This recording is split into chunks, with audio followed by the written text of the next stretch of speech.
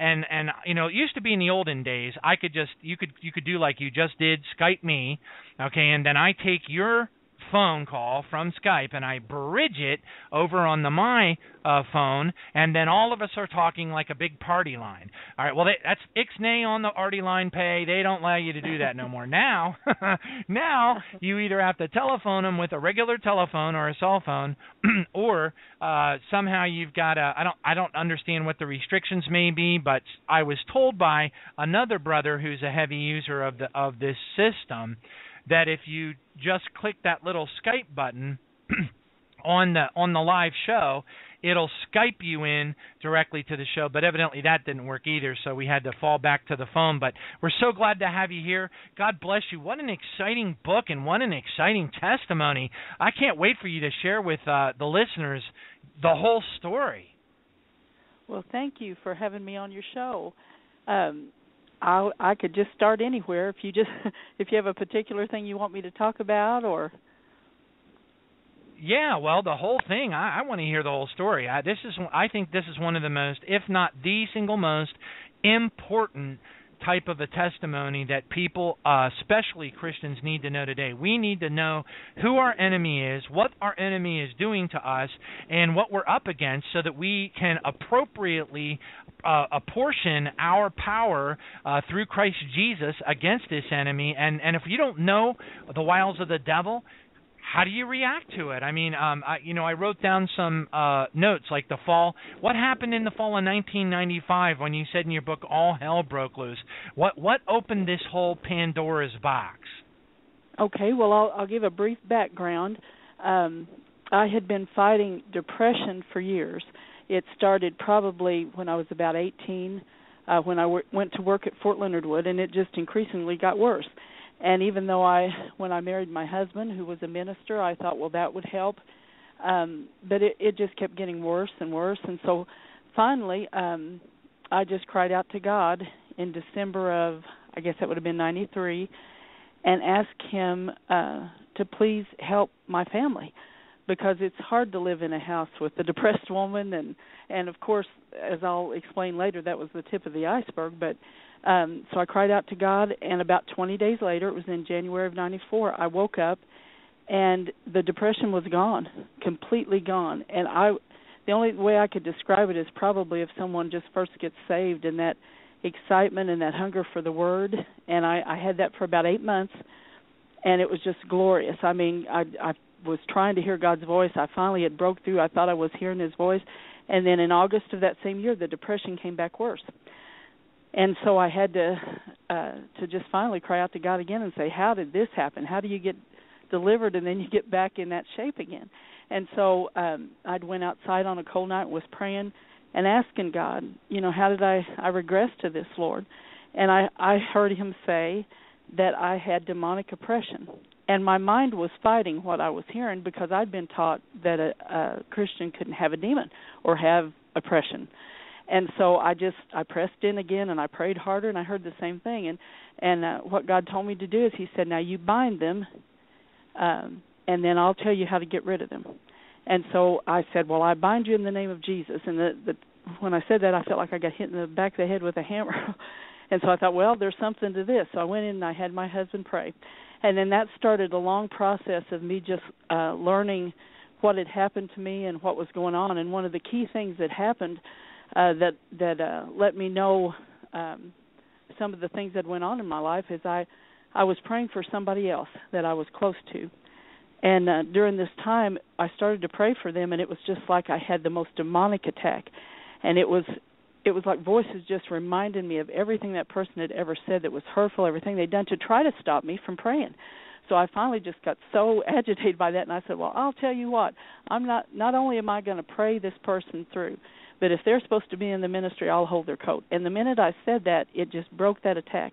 And then immediately I heard the Lord say that if you and this other person ever wanted to get free, you have to look at something. And I was so gripped by fear, and I didn't know why, but I thought, well, if that's the only way I can get free, then I'll look at anything, you know. And I was I was praying, and and I just saw, um I had just a, a vision, and I saw this person that I was praying for uh laying on a slab I saw people in robes.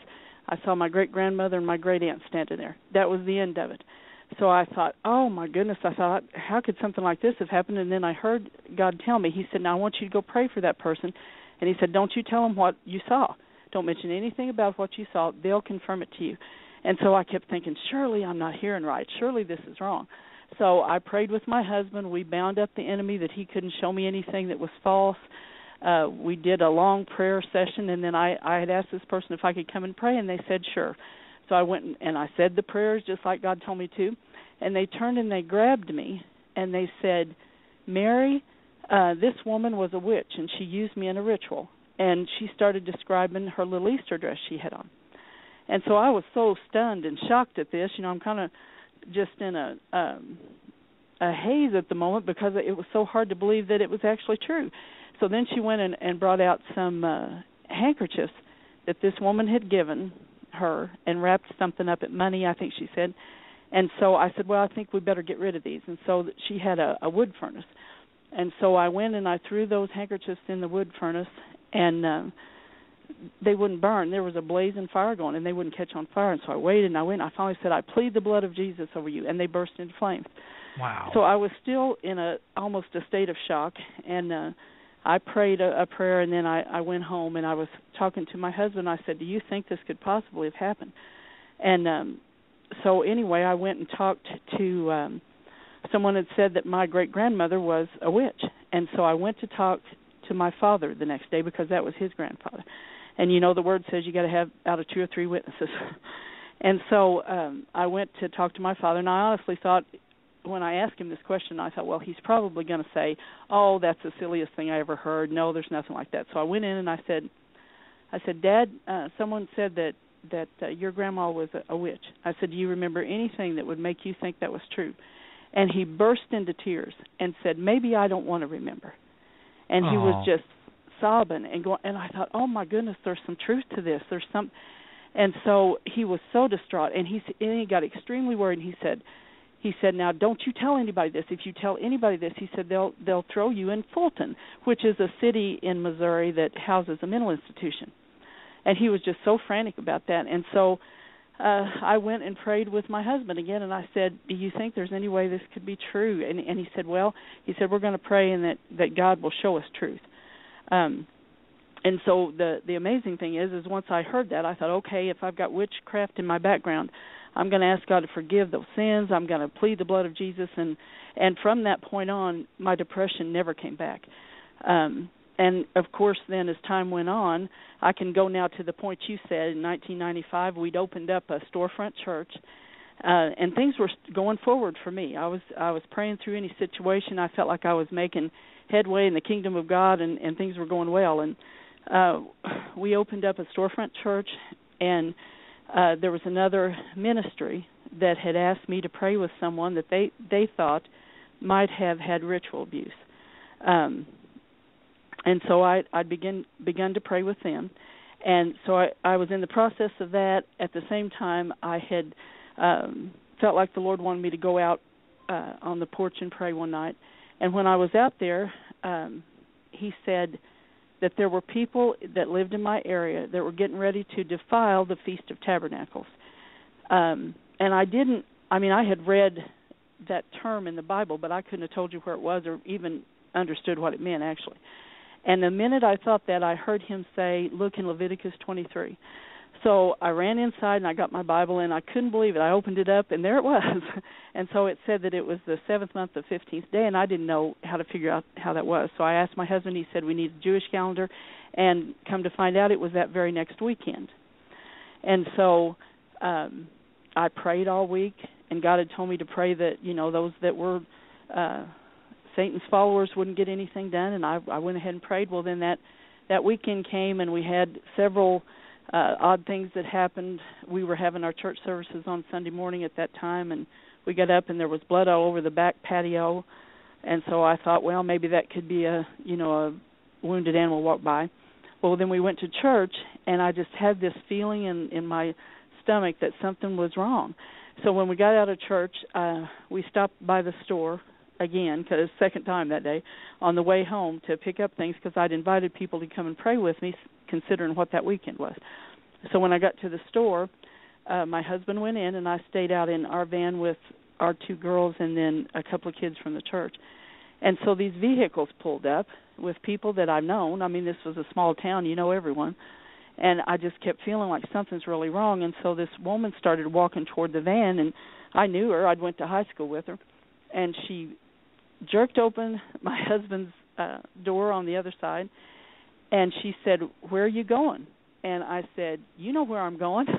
And she manifested a demon and stuck her tongue out and her hands looked like they were claws and she started crawl, crawling across my husband's seat toward me so i took my seat belt off and i thought um well you know i'm not going to let her hurt my kids. And as a matter of fact it wasn't godly thoughts. I was thinking you know what how am i going to stop her? And what am i going to do you know to and i thought well i'll just we'll roll around this parking lot but she's not going to touch my kids is what was going through my mind. And then i i just started praying inside and i said i said her name and i said i love you but stop what you're doing or you'll be destroyed. And when i said that it's just like she melted just all the power left her and she crawled back out and then she turned her back to me and said uh you mean turn like this? And then she walked off speaking in some some other language. And from that point on it was just one thing after another. We had people going by our house cursing us. They did these things called walk by curses i guess. I don't know what you'd call them but they would when we were having services they'd go by. And it was it was just a non stop thing for a long time Wow, uh you must have been absolutely freaking out. I mean, uh one of the things now now you now I I'm not an expert. I just read read about stuff like this and you know, so I don't really know um firsthand and certainly when you hear testimonies of people who have been intimately, you know, directly firsthand involved in these types of uh uh confrontations, uh, you tend to learn a lot because, as you know, we get told all kinds of stuff, and there's all kinds of sacred cows in the churches. But until you're, you know, there yourself, you don't really uh, know all the things that can potentially happen. And what I've learned, or at least think I might have learned, is that it seems like when you're dealing with a demon in uh you know when you're dealing with a demon when it's between you and a demon you and a demon directly uh, e.g., you're you're on your knees, you're at spiritual warfare, you are binding and casting out the demons of death that are you know trying to block your prayers or whatever the case may be. Uh, you know that that that pleading blood of Jesus and going directly against the, the forces of darkness, binding and casting, uh, why uh, it tends to be pretty straightforward and relatively effective, uh, very effective. But um, what it seems to tell me if I'm wrong, I don't know, but I've gotten the impression that it appears that when the witch when these human beings are acting on behalf of these powerful walk-in demons, uh, that the whole spiritual warfare dynamic takes on a whole nother dimension of challenge whereby you're no longer it's no longer between you and the demon directly but it's more or less between you and that and the and the determination of the individual and the multiple the multitude of demons that they're manifesting uh, and powers of those demons against you over an extended period of time. Is that true? Well it was it was definitely a learning experience for me. And what I found as I continued on this path and I kept running, you know, these people would come and say things and uh what I found is that I had to look past that person to see what was what I was really fighting. You know, the word says that we don't wrestle against flesh and blood. And and even though you you feel a frontal attack and you think you have to have physical um I wasn't going to let anybody touch my kids. Now, if it's just me, you know, if they laid laid hands on me, that that's one thing. But I mean, we're re- required to protect our children. So that first encounter was probably a little bit different because it was such a shock to me. Um, I was thankful that God got a hold of me and I was able to to speak to her too, because you're dealing with a bound individual and you're dealing with strong demon um, manifestations at the same time. So you're absolutely right. It was it was quite the ordeal. And what I guess what was the most confusing thing for me um, was it, it wouldn't have been such a confusing thing if I thought, okay, I'm just in this small town and we have a high number of occult people. But what was so confusing was it was like a switch would be thrown at different times, and people that I'd known my whole life would switch to um different people. It was like there were evil twins or something. And all of a sudden, John, they would say um, the craziest things. And, you know, I wrote it in my book, like how they'd say, like, follow the yellow brick road, where the cog in the center of the wheel. Uh, I had somebody quoting uh, Edgar Allan Poe, Edgar Allan Poe to me, and just out of the blue, makes made no sense. It sounded like a bunch of mental patients talking to me, and that was what was the most confusing thing. If I thought I'd just been dealing alone with, you know, just people that were out and out in the occult, but what was so confusing and, and took me and my husband a long time to understand what was going on was was that manifestation at the same time. Yeah, because you because sometimes you were talking to them, and other times you were talking directly to the demon. Well, in in this situation, I believe um, this is is speculation on my part, um, based on what I have remembered, and based on what my husband's researched. And the first thing that I, I tell everyone is that I, I started having some memories come up uh, after God had told me during one prayer session that I needed to bind gatekeepers and watchers. I didn't even know what that was, but I just followed what God told me to do. And once I bound that, it was like I I started having uh, snippets of memory that would come up because I had a lot of periods in my life that I couldn't remember, and um, you just think, well, how how did you not know something was wrong? It's it's when something happens to you when you're a child and you're traumatized, those things get blocked. And so your mind just learns to work to where you can function. And part of that function involves you block that trauma and then you your mind just kind of covers it up. You just go on and you just learn how to function with that. And i had to come to grips with the fact that i had had trauma and that a lot of those people in that town had had trauma and i believe what we were dealing with based on our research um was that that our town was an experimental place and it was connected to Fort Leonard Wood, Missouri, uh, where I believe there were experiments starting with Operation Paperclip. That they they started using things connected with Project Monarch, and that was that was what I was seeing was that somehow the people had um I hate to the only way I know how to describe it is different personalities, but in in my mind it's easier to say fragmented to where when you're traumatized your mind so that you can survive blocks that through a process of brain chemical release and so on. Um, and I, I believe that's what we were dealing with there. And I, I've told everyone this: I have memories of things that happened, but I don't base anything on that because I know that there's programming, and I know that there were things done to us as children, and so I don't base it on just my memories. Although my memories, uh, they seem to lend credibility to the research my husband was finding, but I based it on what was going on right in front of my eyes. I based it on the things everybody was saying and the crazy things I saw.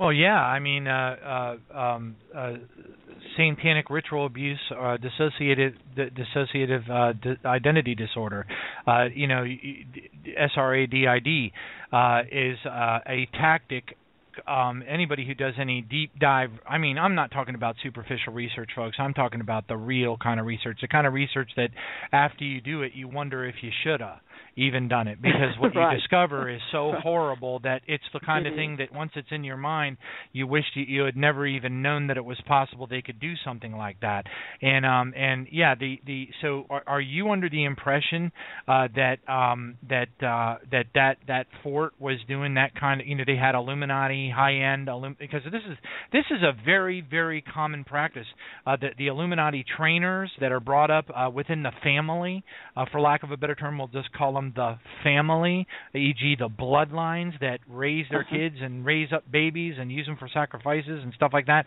The family. So you you believe part of the family operation was actually there at that fort, and that they were uh, doing uh, they had what what what what you would call Illuminati training operations there. Well, the, one of the things that caused me to doubt my own memory so much is is of all the research that my husband was able to to look at and he would tell me you know the research as he was uncovering it um we we couldn't find anything on Fort Leonard Wood. We found other military bases and other places, but we could find nothing on Fort Leonard Wood. And so in those initial stages, I just thought, you know, actually what I thought I can tell you this because Christians will surely understand this part. I was so afraid that I had come out of a depression and so Satan was going to do the next tactic possible, which would be to get me off on some wild tangent to where that I would be ineffective in my Christian walk that way, uh, because it was so bizarre to me uh, what my husband was researching. And uh, now, when you know, if somebody reads my book and they see how at the at the very end of my book I try to connect my actual memories that I've had my whole life with these new memories that were coming up, you can tell something was wrong. You know, I put in there about where I had a dentist, my first trip to a dentist, he drilled my whole tooth out with no painkillers. I've known that my whole life. I kept that memory. I even told my husband when we first got married, and he he just couldn't believe a dentist would do that. But what was so shocking to me was when I reevaluated it, and I thought, how in the world would a child sit there and go through that pain? I mean, there's something terribly wrong when a child would sit there and the dentist says, "If you feel pain, hold your hand up." I hold my hand up. He doesn't stop, and I don't kick him. You know, if my kids had had anybody try to inflict pain on them like that, well, they would have been all over that. You know, they'd have been flailing and knocking the guy over, and and so I had to look back on those situations in my life and think, well, of course something was wrong. Of course something happened to me. But but your mind just disregards it. Your mind's so what I call is the pardon well, well, well, yeah. So let me, so let me just ask you. I mean, you know, um, do you remember enough to have any idea how you got, you know, sucked uh, well, into I the believe, whole deal? I mean, how did they get a I hold do, of you? I mean, a lot of I them. do believe. You know, okay. I believe that that my parents were victims too. Um, now I don't there know as, okay. as far as my as my mom's side. Uh, I just know that I do believe that that this is speculation on my part because I don't have right. proof of this part. This is just me trying to make sense of it all. Right. Uh, my father had joined the army when he was uh young. Now I don't have the dates of that. This was before I was born. Uh because um this is just stories that I'm remembering they told me all through my life.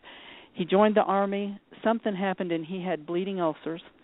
And so uh, he had to get a medical discharge and there was some doctor that that flew in from Texas that was a specialist that had to operate on him. They took out like three fourths of his stomach, something like that.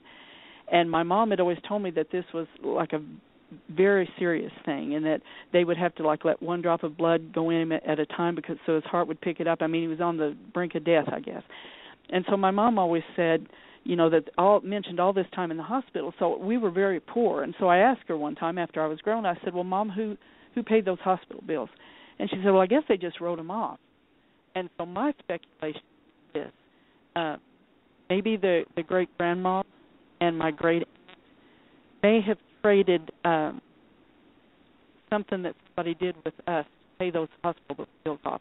Now i'm not saying that that uh my family would have done that um as as a bad thing that they didn't care about us. They did. My, I have memories that my mom and dad took the best care of me that they could have in that. But I believe that there's a, a chance that because I've been able to connect a doctor, the only way I can connect Freemasons to, to what happened to my dad was his doctor's wife, star, and I was able to get that off her, of her obituary. So I don't know if this was like a Freemasonry connection that they paid the bills that yoked them into us, and then they took us kids and did something. I mean, that's what I'm assuming. And then by my dad's reaction, you know, it, it was real hard to get anything out of my mom and dad after that. And cried and said we didn't want to. I don't know that my dad wasn't a victim, and I don't know that we all didn't go. You know, if they weren't, we weren't taking rituals. I have memories of that, uh, but I don't have any confirm it other than just you know a memory I have, and I, I I'm not going to base it on that. But to me, it it makes sense. the only thing I can imagine where I would have got traumatized to the place that I could take that was I I had already been traumatized. Does that make sense? Yeah, yeah, it it does. Um and um and just so you know, Mary Lou, um it looks like looks like the forces of darkness are trying to black out this uh your call a little bit. We're having a a little bit of a breakup, which doesn't surprise me because when we've done these kinds of shows in the past, um we know well we know what we're dealing with. We're uh, and and fortunately so there is a little bit of uh, a breaking up on your call on your line. So uh what we might need to do is have you call back in if it continues because we really need to get this information out to people. It's very vital. And um uh for those of you who um uh, may have had difficulty hearing uh Mary Lou um in essence uh she you know, of course you know she doesn't have firsthand evidence. Uh, it's anecdotal, it's circumstantial, but as she pieced this together, uh, and of course, according to research of other people who've been through similar situations, because of some ties that may or may not have existed between, um, was it your father? Did you say? In the mil- who was the person in the in the in the uh, in the Air Force that was into the occult? Was that your dad? No, it was uh my father was when he was young, and then was released on a uh, medical discharge because he had health. Okay, we're we're we're we're losing you completely here. So, um, I gosh, with all the technical difficulties we've had, I'm so sorry. But is there any way, Mary Lou, that we could get you to just go ahead and hang up and call right back into the show and press sure. one to talk to the host? We might just have a bad voice over IP line uh, that the demons of death have gotten their hands on. But um, could you do that for us real quick? Just go ahead and disconnect and call back in and see if we can get a brand new, fresh line when you do. Okay, I sure will. All right, praise Jesus. We're going to be looking right for your call. All right, and I'm watching the line, watching the line, watching the line. Hallelujah. Thank you, Jesus. All right, so she just dropped, so we're going to watch for that line to come back in. Father God, in the name of Jesus, Father, just go ahead and give us a good line. We bind the forces of darkness. We bind the forces of darkness. We plead the blood of Jesus over this. We plead the blood of Jesus in the name of Jesus Christ. Hallelujah. Thank you, Father. Thank you, Father. We plead the blood of Jesus Christ over this over this radio, over this call. Father God, in Jesus' name. Hallelujah. Hallelujah. Thank you, Jesus. Hallelujah. All right.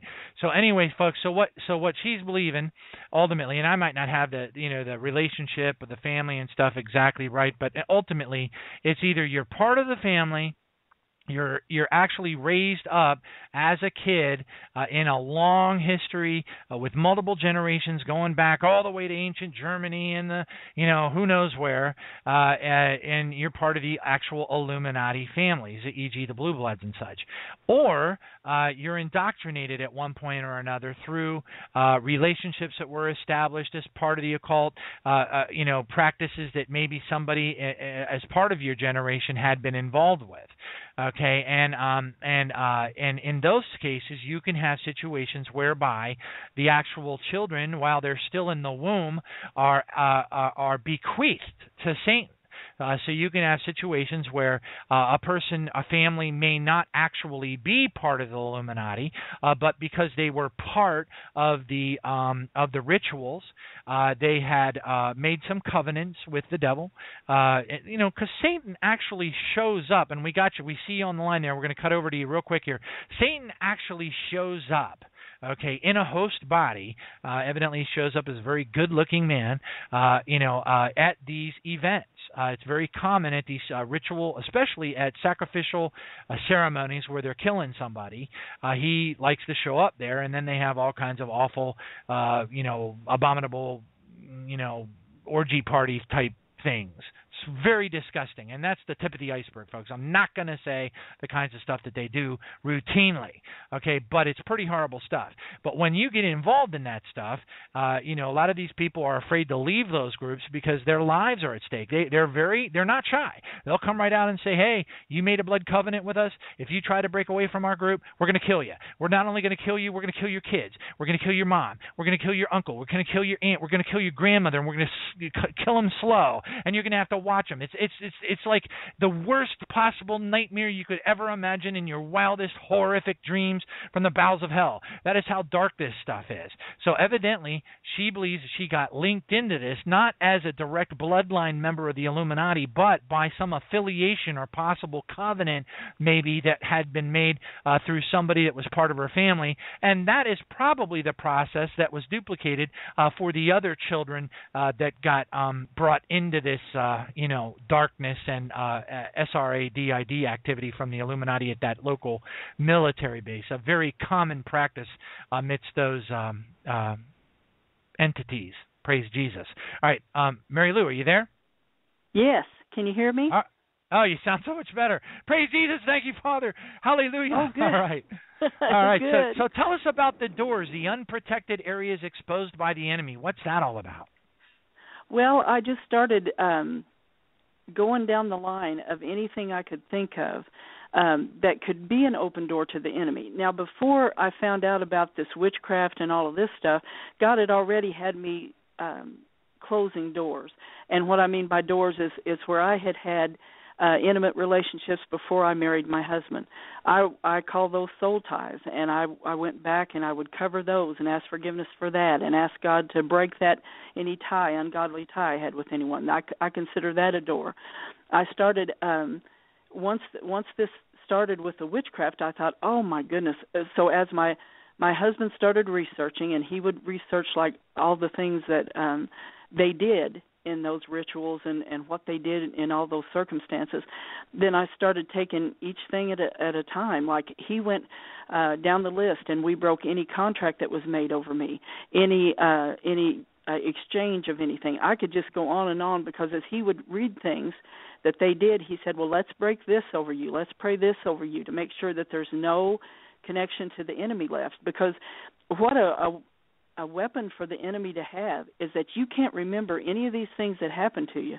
And yet he satan is able to have those open doors to attack you through them and you don't even know they're there. And it explains so many things in my life. I think i'm pretty sure when i married my husband uh all of the um all of the things that they had done the programming and things started breaking down because i started having what is they call in research internal earthquakes.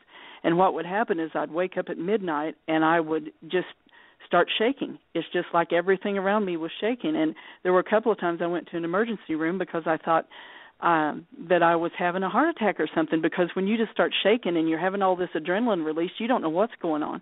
But then after, you know, years later when my husband started researching, I thought, "Oh my goodness, I was having those internal earthquakes." Um and and it was just it was one of those those things where it's so hard to imagine that something like that could happen to you. And and believe it or not it wasn't just my memories and what I went through personally that convinced me. It was what was going on in the the town around me. It was bizarre things and just constant things. And i i remember asking god i said god is there any way that you can prove this to me? And uh one night i went to i after i'd prayed that i went to to sleep. I woke up in the in the night and I was trapped inside a star, like I was spread eagle inside a star. And I, I know I walked to my living room, I had to, but I felt like I floated inside the star. And so I got to the living room and I was able to say in Jesus' name, and it broke it. And so I went back and I, I you know, told my husband, I said, I need you to pray for me. Something awful just happened. And so he prayed for me, but I started having one of those internal earthquakes and that's one of the things that that probably happens down in that area where I was raised all the time. They just don't know what's going on because I would look at the clock and it would read 111. I'd look at the clock, it'd read 222. And so I found out later those are programming cues that it's it's like they put a timer in your head and and you'll look at the clock and it will be 555 and and so it was those type things that that my husband had researched and that we were able to put together that convinced both of us yes something horrible did happen to me. And not only had it happened to me but it had involved this whole town I was in. Now I don't know if everybody in that town has had the trauma I had but I can tell you that whole town's being controlled. And my husband saw this with me thank God because it sounds so bizarre. Um there were lights that were in the sky and they would come in a, in the sky and come in a, a particular pattern great big huge lights and they would flash and then they'd stop and they'd repeat the same pattern. Well i i saw them three three different times. And the first time i saw them there were cars everywhere and i kept thinking they're going to pull over and everybody's going to get out of their car and say what in the world it is? Well nobody even acted like they could see these lights. And so that to me was an indicator you know these things are causing some kind of a uh, hyp- hypnotic trance or something to where it's hazing the people out. And I think what happened with me is I prayed and prayed until I got out of that control and I could actually see what was going on. Oh, I believe it absolutely. Um, there's this guy that calls himself the Yahweh prophet, and he conjures up uh, the, the these these these lights in the sky, UFO entities, beings, creatures, whatever you call. It. I, they're fallen angels. They're fallen angels. They're principalities, right, right. powers, and strongholds in high places. High places Absolutely. is up high. Look up, look up. They're there. There they are. I mean, folks, the Bible. Yeah, and they left when I commanded them to go in Jesus' name. They would receive. Amen. Amen. And so. Uh. That, that go, ahead. go ahead. I was just telling you that I I absolutely agree with you, and and I'll just say this for the listeners: there was not one thing I encountered in all of the crazy things that I saw that the name of Jesus did not stop at all, because He does have the name that's above every name. Oh yeah, amen. We had uh, uh there's a there's a uh, a lady uh who's been a friend of our ministry for many years now and uh her name's Trish and um she was actually uh uh you know had an episode of UFO hunters um uh, where they came out with cameras and everything to her house um because uh these demonic orbs would uh congregate in her backyard. She actually has photographs of these things. It's amazing these colorful strange orbs that just congregate and she would go out she would just walk out in the backyard and say in the name of yeshua jesus get out and they would just flee. And then Uh-huh. she could like manipulate and control these little things with uh with the power of jesus. And uh it's just amazing. Um tell tell us so what what it, what's up with the it, you know you have this little section in your book it was subtitled what witches might be doing in some of our churches. What's that about? Oh, well, we had a lot of experience with that because what I believe happened was once once they found out I was remembering, once they saw that I was coming out of this, whatever you'd call it, uh, we just had one person after another that would come in into our church. And you know, sometimes they they were coming under the guise of they wanted help, and other times they were just coming out of other churches and coming to visit ours and things. Um and so I was able over the last 20 years to just really um monitor what the people were doing and it we weren't using these people by any means anybody that came in we offered them the best help that we had with the limited knowledge we had at the time.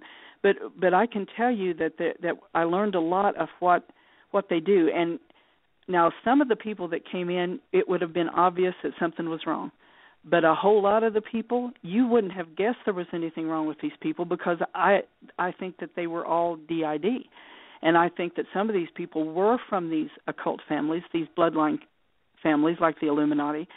And I can tell you when those doors would open up, when you know, when, and those back personalities come forward, oh my goodness, it was it was a startling thing to see how that they would just change. And uh, I think what happened is I think the anointing that was on my husband's ministry was just causing these doors to fly open when they didn't want them to come open, and they just their back parts started coming up and talking to us. And um so i i don't have any doubt that they're in all the churches that they're manipulating things and and these people are very talented a lot of times they'll be the the ones that can sing quote scripture like nothing you've ever seen and Yep. what i found out is they they want to they want to give you clothes this is going to sound crazy but i had so many people giving me clothes and i finally figured out what it was it's just like there was an anointing like on the apron you know that they'd use to lay on people uh, Yes. in the New Testament and they be healed. Well, there's some kind of counterfeit thing that they do with clothes. And I finally caught on to it and I thought, well, I'm not wearing any more of these clothes, um, but I think that they do a, like a ritual over those clothes, like to where if you wear them, they affect you. They love to give you presents and they they give you gifts. They love to feed you because I can tell you, I had, I I um, confronted someone that I thought had done something to the food because we would have church dinners and everybody just you know how they have the church suppers and everybody brings something and so i confronted them and their back personality came up and i said did you do something to that food? And they said well the the heat kills the germs. Like that was just a common thing you know and i was so shocked. And and uh, so from that point on i didn't let anybody eat food like that. If we didn't you know get it catered and brought in or i fixed it and prayed or we just didn't do it because i thought you know there's no i they told me what they put in foods one of them did and i just thought oh if the churches knew this they'd never have another church supper um but they they really are adept at going in in churches and finding out the weaknesses and just i i just think that they're they're making a mockery out of any of us that are trying to serve the lord There's no question about it. Um, as a matter of fact, uh, and again, you can. There's a, there's always you know in every dark cloud there's a silver lining. And and you know and I, I don't want to be too colloquial but um you know uh when it, th- that really is in in some ways a a bib- uh, you know a, a, a biblical thing Um, you know, uh, Jesus said, "Are not two sparrows sold sold for a copper coin, and not one of them falls to the ground outside of the Father's will." So, uh, there, you know, eh, so yeah, are they doing these things? Yeah, absolutely. So, before I continue with my little thing about the 501c church, you know, thing, um, I personally believe that the, the forces of darkness uh, ultimately uh, were behind the establishment of the 501c church uh, corporation, uh, and and one of the uh, there's so many things that is dark about that, and a lot of the people who are in the churches they don't they don't get it, they don't see it, they're unwitting, they're just kind of you know happy-go-lucky and ignorant, and eh, they're unaware. That's why we're doing this show. Um, but um, you know, when you are forced as a church, and and uh, and the smart, the new churches, the new churches that are springing up that are wise uh, to the devil and and their tactics, uh, they won't do 501c. Um, but the uh-huh. the old the ones that have been around, you know, they they do. And when they and the second that they do, they have to establish a board. And um, one of the things that the uh, brotherhood will do is the brotherhood will they will they will get together at their coven meetings and they will assign the people in the covens uh, to various churches, and their Uh-huh. job is to go in and get on the board. And they're and just as you said, there's some of the most uh, uh, uh, happy-go-lucky, smiling, uh, loving, uh, huggy, wuggy, kissy, wissy.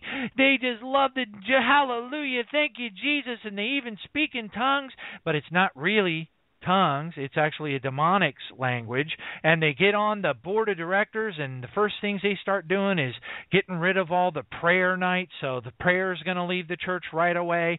Uh, then they're going to, you know, they, what they do is they rip the church apart, but they do it Yeah. in a um, in a uh, very charismatic fashion to make everybody on the board think that they're doing it for good reasons. And and uh, Well, it's they- just a horrible thing. It is, and I, I and some of the most sickening spirits that I have run into are religious spirits, and that's what these people have. You know, they're very savvy at how they uh, they bring forth what they want, and I, I just think it's, you know, one of the reasons I wanted to write this book is I was so shocked at how little I knew, uh, and how much the occult is trained, and it shouldn't be that way you know the body of Christ needs to be the ones that that have that information. We need to know what's going on. We need we need to be um, well versed in what the enemy does so we can pray accordingly. And I, I was just continually the last 20 years I've been so shocked. It's kind of leveled out the last few years to where um, I'm not shocked every day like I used to be. But it was it was such a shock to me. Um, some of the people that had these back personalities. I, I actually had one of the people that came initially to me and warned me about a lot of the people in my town but I just couldn't believe it because all I had ever seen was their front personality in those churches, and I, I just thought they cannot be involved in these horrible abominations, surely. But it was the truth. What they told me uh, was the truth, and I was so shocked. And I thought, oh my goodness, if I could ever tell the churches one thing, it would be uh, be sure and put some kind of um system where the children are to where there's a monitoring system because it wouldn't take these people very long to hurt a child and that's that's one of the reasons I wrote the book. I thought, now it's you know, it's one thing what somebody's done to me, and I haven't had trouble forgiving those people. I, I mean, it took me a little while, but I did it. But I have um, such a uh, a strong stand against what they're doing to the little children, and that's what's why it's got to be stopped. You can't just sit by and act like, okay, I'm not going to look at this when there are little children that are being tormented. Oh yeah, folks, and and again, you know, correct me if I'm wrong, and you know, I I I just have a feeling that you're probably just because of kindness and the fact that we're on a radio program, you're probably not really being full disclosure and I'm just here to tell you folks the stuff that they do is absolutely horrible. They they will Yeah. put uh charismatic individuals, young young people uh, uh that are part of their covens, they will put them in and get them to be uh uh heads of the uh youth youth uh, uh the youth churches and the youth organizations at the church. And then what they'll do is they'll go after some of the teenagers and they'll get them to come over and join their little groups uh uh down the road, you know, on Saturday night wink wink. Uh and and Uh-huh. folks um, it, it, and it so they're in the church recruiting the kids that are in the church to come and join uh, the, the the demonic uh, you know stuff that they do over and that's how they bring in new people into their covens okay Mhm. and then um that's part of it and then some of the deep darker stuff they do with the littler kids is just so sickening words cannot describe. We're talking about abuse, uh, you know, sexual things, uh, just really, really filthy, abominable, dark things. And and folks, we're talking about people. We're talking about people who Indeed, what they do is they do things like on a on a particular Christian holiday, they will go and get in a van and they'll drive down a road and they'll they'll they'll they'll uh, uh, um, uh, jump out of their car and they'll go grab a church pastor. They'll throw him in the back of the truck. They'll take him off to a distant place in the woods. They'll nail him upside down to a cross and then they'll start doing horrible things to his body while he's screaming out in pain. That's the kind of stuff that these people do. This is a very dark. They will they will rent churches. They will rent churches. They will rent Catholic churches, especially. They're very fond of the Catholic Church because they have a lot of I don't know satanic stuff that's in the Catholic Church. The symbolism and the stuff that they use at the altars uh, is very satanic and ritualistic, and they like those places.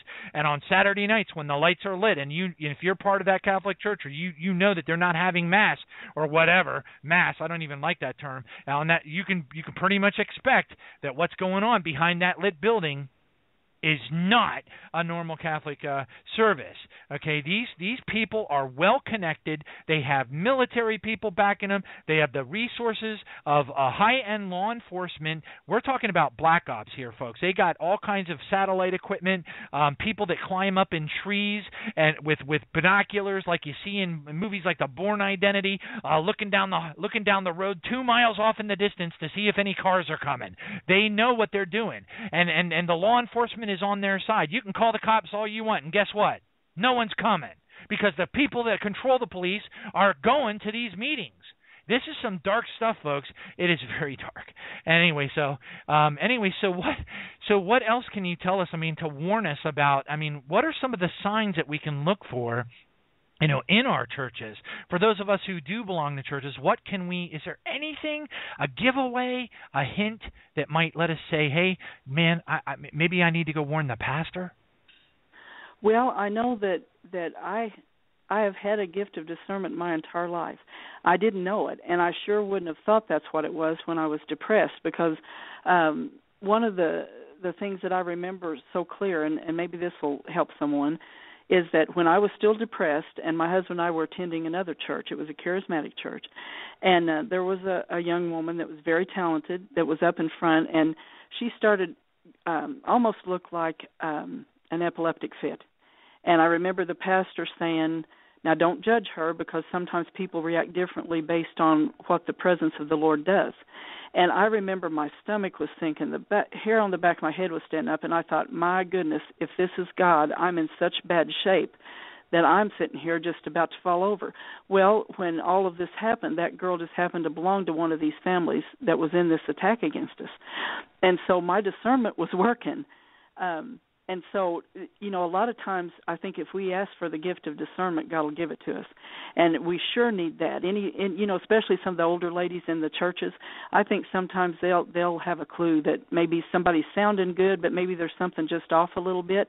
And one of the things that i i found out that god just dropped in my spirit one day that helped me more than anything was he told me to um I, w- I went into a, a doctor's office to try to help a, a family that was caught in the occult and when I got there, it was the most chaotic environment I've ever seen in my life. And so uh, I was praying in the spirit, and I I think I got the interpretation of the prayer God was having, and it was I asked God to forgive the sins that had been done in that building. The minute that I did that, it was like He let the air out of a balloon. All the occultic power left. It was like the people all left out of the building. It just left.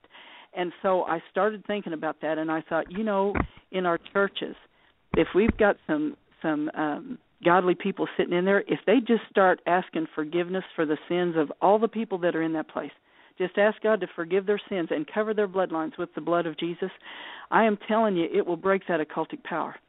I cannot believe that you just said that. I cannot oh. believe that you just said that. I have got to share because this is huge. Folks, any of you who have not taken the time to listen to the show that we had just recently with Brother Henry Gruver. Henry Gruver just said exactly the same thing. He had traveled across the world. He was known as the Walker. He'd written some books about how you know he, the Lord has taken that guy. God bless his soul. Uh, oh, all wonderful. over the world. Oh, he is wonderful. And get this, he he had had had had uh, you know gangsters and all kinds of you know even guys of Hezbollah, members of Hezbollah, uh, pushing him up against a wall, threatening his life, holding guns to his head. And Jesus told him in his heart, said uh, the Lord actually said to him when his life was immediately uh, you know he was going to get killed, and he knew it.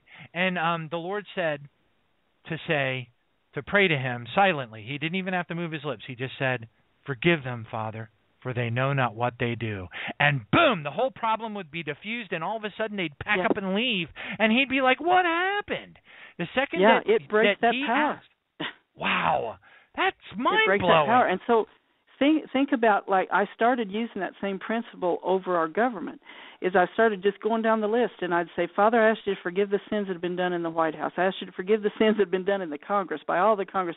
If all of the Christians would start praying those prayers, I think that we would see big breaking of of occultic power. And you know, I never even walk in a store. If I go in a store before I go in there, I say, "Father, I ask you to forgive the sins of the corporation, the owner of this store, the people that work there, sins that have been done in the building, on the grounds, down the center of the earth, up to heaven. I take authority. I bind de- demonic power, and when I walk in there, I do great. If I forget to pray that prayer, I know it. and so, but uh, but if we'd all start praying those prayers, I think we would start seeing the power of God move in a in a major way.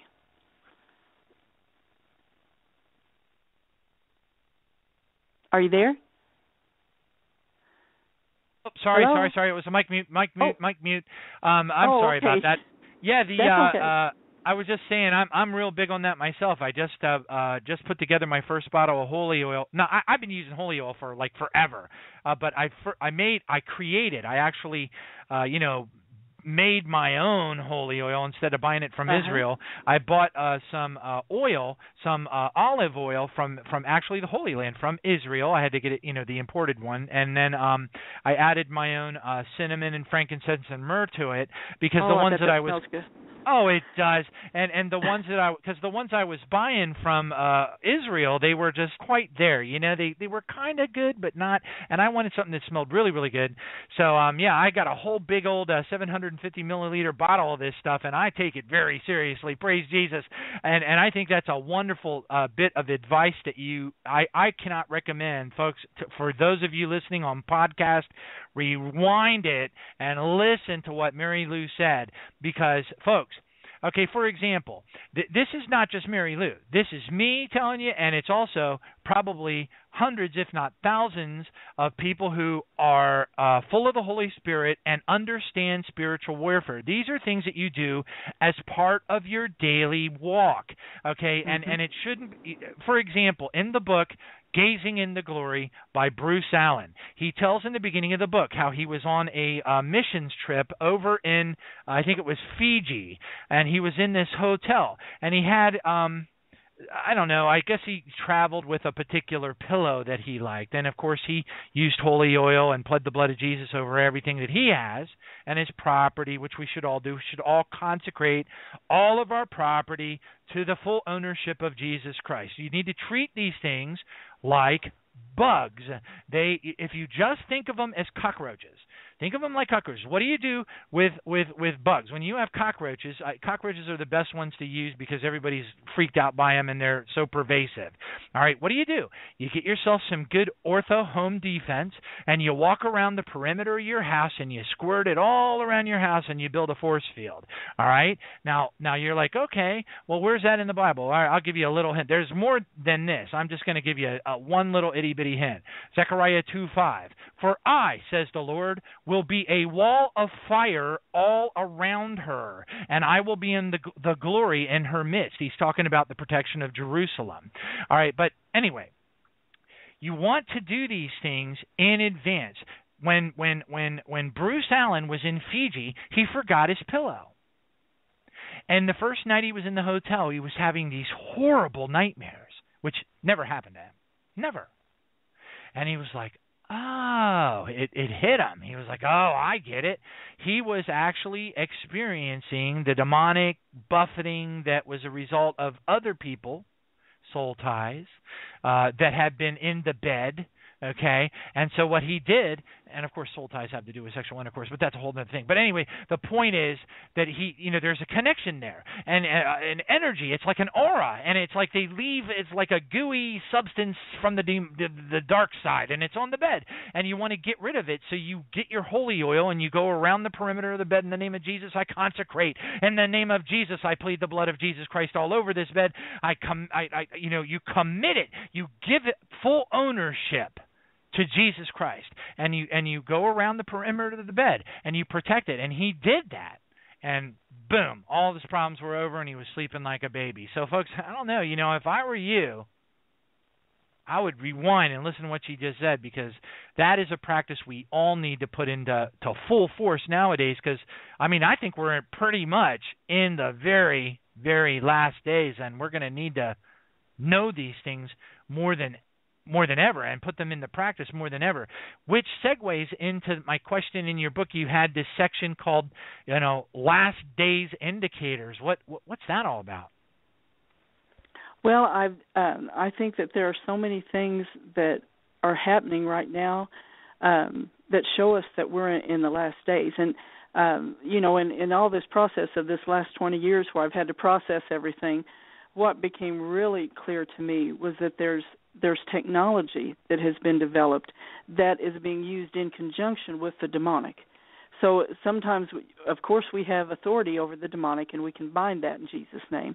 But I've we've had to um, kind of establish some prayers to just uh, ask God to put shields up because there there are different attacks that can come, especially the people that have been uh, traumatized in the Monarch Project and especially in some of the the military bases where they were trying to create um, super soldiers. Um, they, I believe that there are people that can cause aneurysms that are super soldiers. I believe that there are people that can um, do all kinds of things.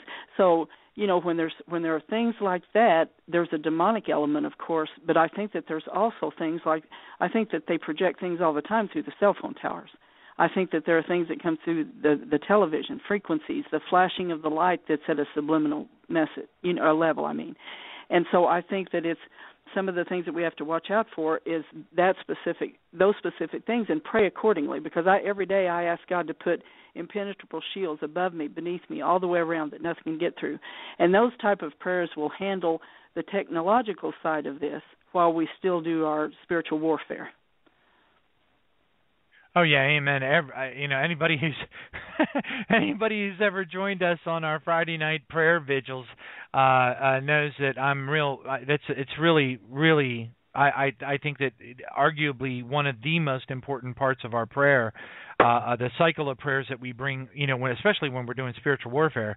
Um, you know, we have to bind the strong man, uh, uh, then we can plunder his house. Well, what is the strong man's house? Our body, our host body. That's where the strong man controls the demons of death that are, you know, bind, you know, that are that are, you know, inside of us and then uh, when then then you know once we bind and take out the strong man, we can uh, you know uh, come after the unclean spirits, kick them out of the house, uh, you know. But then, uh, as Jesus warned us, uh, then seven more. Uh, more dastardly spirits will come back and dwell in that house. So the first thing I do after I bind and cast out the demons uh, from the people, uh, the unclean spirits uh, from the lost, uh, the very first thing I do is I ask the Father to surround them with a with a holy fire, with a hedge of protection, uh, and to, to keep their eyes open, to keep their ears open, that they will be able to see, what they they will be able to hear. Uh, you know, because you know, because you want to keep that clean swept house full of the Spirit of God, so that they're able to hear uh, what the and and, and you know, because the Lord uses us. I mean, whether it be a divine healing uh, you know, if you look at a you know person who was given a gift of divine healing or the, gift of miracles from 1 Corinthians chapter 12, if you look at that individual operate in the gifts of the Spirit, um, and you know they're like, in the name of Jesus, I bind and cast out. In the name of Jesus, I command you to be healed. Stand up, accept the healing in the name of Jesus. And and when that happens, you know, a lot of people are like, wow, he healed them. No, he didn't. The power of Jesus moved through that person's body as a conduit. We are mm-hmm. conduits of the power of heaven. We unleash the the angels. We unleash the power of the, the the heavenly throne room of God, and we are that conduit. Just like the witches from the bowels of hell are for the forces of darkness. They're the conduits for the darkness, and we're the conduits for the true light. For all good gifts and all perfect gifts come from above and come down from the Father of lights. Glory to Jesus. Hallelujah. First uh, James James 1 verse 17. So that's what we do. We do the opposite of what they do, but we do it with the power of God. And that changes everything. But yes, we have a mission. I mean, that's our mission. Isn't that I mean, wouldn't you say that, you know, people need to really kind of embrace these things as opportunities and get involved, even if they're in a wheelchair or housebound or a shut in. I mean, don't we all need to spend some time, you know, uh, in intercessory prayer coming against these forces?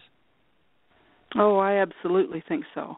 And as a matter of fact, um, I'm so glad you mentioned Henry Gruver because I was fortunate enough to get some tapes of his um, several years back, and I I tell you, it, it showed me one thing uh, that I I thought I knew anyway, but I think he convinced me is the greatest power there is is the love of God, and if we can have that love flow through us, I think we can.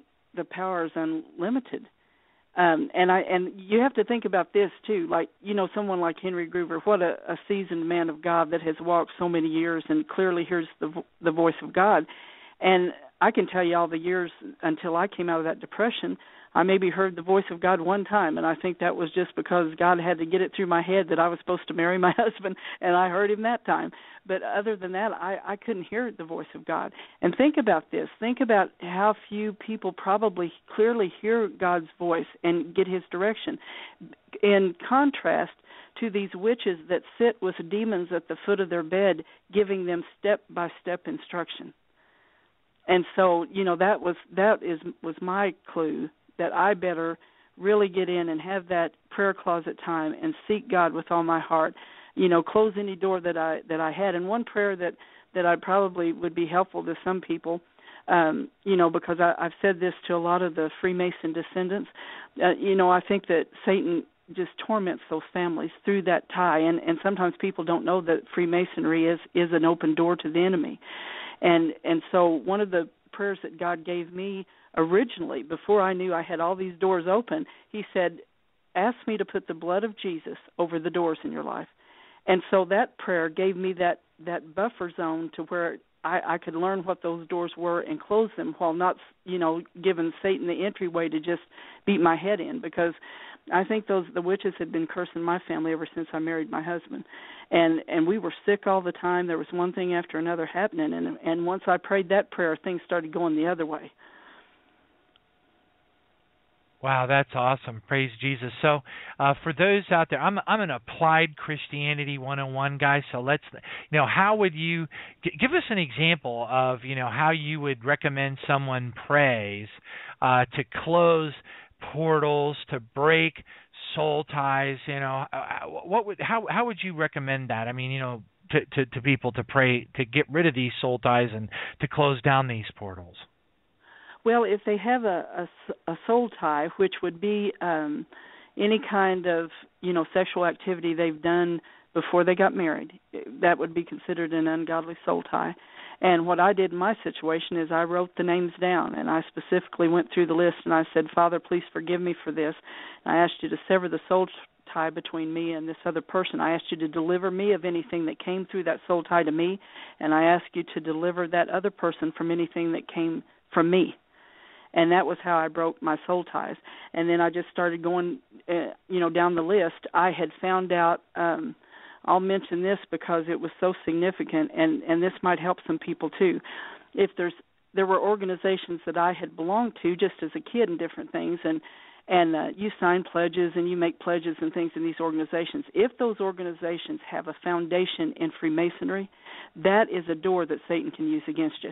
You'd think, how could Satan possibly do something like that? A little kid just, but any written contract, if you sign a pledge card, if you if you do these different things, he and and that that established uh, organization had the foundation by Freemasons, which is a whole bunch of them. If people want to look at it, that's a that's a door. And so what I did on those things is I just asked God to cover any pledges that I made. I asked Him to break any uh, ties that were made through me signing my name on a signature card or through any organization. I I commanded Satan to to leave me through those doors, and I'd plead the blood and ask God to seal those doors shut. And that's that's pretty much how I came out and God was just get, showing me one thing after another, you know, of the of the different ways that Satan can sneak in. Because, you know, since we're Christians, if something came at us and and it looked horrible, obviously we're going to reject it. So he's always going to sugarcoat something. Uh, it's like he does with Halloween. Yeah, and I I've told this before. I don't think I gave the specific uh, situation in my book, but there was a I always have people that I know now call me if they hear of a little child that's uh, like bobbing for apples at Halloween or anything like that, because the bobbing for apples specifically is a dangerous thing. Um, because that came from a druidic practice where uh, they were going to give people the choice of bobbing for an apple in boiling cider, where their face would have been deformed if they survived it, or they could go in the wicker man and be burned up. So even though that's an innocent thing that a child would just be playing a game at Halloween and bob for an apple, what he does is he goes after their face then. And so I had someone call me and said that there was a little child that had been bobbing for apples, so they wanted me to pray. So I wrote it on my prayer list, and I hadn't got to the prayer yet. I got another call later that day before I got to to pray. I've learned now to just pray right then, not put it off. And what had happened is that little child was involved in a wreck, and it uh damaged their face, and they thought they were going to have to do plastic surgery.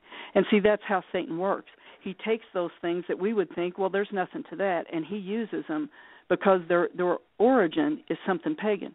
And so I was able to ask God to forgive the sin of that whole thing, cover that with the blood of Jesus, bring restoration, and that little child didn't have to have plastic surgery. Wow. Wow, that's powerful. So, um, so would you go ahead and take uh, some time to help people understand where they can go to get more information? Um, uh, tell them where they can, you know, any information you might have, a website, um, a, you know, the name of your book again, because um, I know I, I know from past experience that uh, there's a lot of people uh, that you know hear these things and they're you know a light bulb goes off and they're like oh no you know i need uh to reach out. I need more information. Where where can people go to find out more stuff about this? Oh sure. They can um if they'd like to go to our website it's at www.kingdomintelligencebriefing.com and if they click on the mind control tab at the top you can find information about my book there which is what witches don't want Christians to know. Now, if they go and try to purchase my book on Amazon, they need to make sure that they uh, purchase the expanded edition. I think they have a couple left of the the original one before I put that expanded edition on the back. So they need to make sure they're getting the expanded edition with the picture of the woman and the butterfly on the front. And then if they would like to email me, uh, they could email me at no mind con all together at outlook.com. Oh wow, praise Jesus! That's awesome. Um, and uh, if you would, uh, we would love it if you would t- if you would if you would close the show tonight uh, uh, with a prayer. Oh, I, I'd be honored to. Praise God. Okay, well, Father, we come to you in the precious name of Jesus. And Father, I know that there are people that are listening, Father, that maybe haven't known uh, the extent of what's going on all around us that Father, you can give us courage so that we can look at these things. It's hard to look at it, Father, but you can give us the courage. And I just ask that you loose that courage right now to every listener, to every person that needs to be able to, to see these things so that they can actually combat the enemy like you told us to do in Ephesians 6. And Father, I just ask that you would um, send the anointing, Father, to free people from bondage. Send the anointing, Father, to every person. You know what every person needs. Father, if there's someone that's listening that may be in the occult and maybe they're listening just to see what's being said, Father, let them know that that you love them. Let them know that there's a way out of anything. And Father God, you've you've made a living proof by me that even though the highest levels of the occult have come after our family, Father, we're still here. And all because of you. And Lord, you can do miracles and you can do anything. Father, if people will just fall into your arms and just say, Father, show me what to do, then they can come out of anything and they can have the joy and the peace that maybe they've not been able to experience before. And so, Father, I just ask that you lead each one of us, that you would show us more truth, just show us more every day what we need to learn to face these end days. And Father, we give you all the praise and the glory in Jesus' name. Praise God. Thank you, Jesus. Amen. Uh, and and um, uh, real quick, Mary Lou, uh, we're we're getting some word back from the chat room that uh, people were having a hard time uh, copying your website again. Could you share that oh, with us one more time? I I sure will. And it's all all together. There's no breaks in this. After the www dot kingdomintelligencebriefing.com. Okay, and Kingdom the, Intelligence. Uh, so I'll just repeat it: Kingdom Intelligence Briefing dot com. Kingdom Intelligence. Briefing dot com. Praise God. And what was the That's email it. again? The email is no mind con, short for no mind control. No mind con altogether with no breaks at outlook dot com. All right, praise God. Hallelujah. Thank you, Jesus. Father, we stand in agreement. We stand in agreement with that prayer. Father, we pray in the name of Jesus that people will become doers of the word, not just hearers of the word, deceiving themselves. James 1:22. Folks, we all want to be profitable servants. Profitable servants in the kingdom of God. Profitable servants. Folks, get out there. Send emails, send links. Let people know what's going on. We need to get the word out so that if if the one thing that they can walk away with more than anything, even if they have a hard time understanding how pervasive this this problem is with the Brotherhood of Satan and these witch covens and stuff that are in virtually every town in the United States and, and, and abroad. It's all over Europe. It's it's all over Africa. It just comes in different forms. And folks, we need to let people know what we're up against and how to stand against it with the power of Jesus and with the blood of Jesus Christ. Praise God. What a blessing. Thank you so much, Sister Mary Lou, for joining us tonight. God bless you. Well, thank you so much for having me it was it was a pleasure. All right, God bless you and take care. Uh, everybody, we'll see you. Uh, gosh, I can't even remember what day it is. All right.